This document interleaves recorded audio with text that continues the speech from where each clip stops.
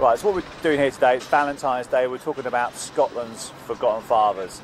Um, the fathers who are losing their lives, trying to go through the family courts, trying to see their children. Every single week, there's around about 10 Scottish men lose their lives. That's 500 men a year. Uh, and suicide is the biggest killer of men under the age of 45.